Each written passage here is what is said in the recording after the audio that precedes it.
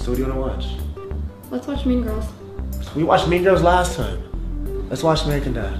No, I hate that show. Well, too bad. I already started it. Looks like you're watching it alone. You need me. Ooh, you. Let's just watch Mean Girls. You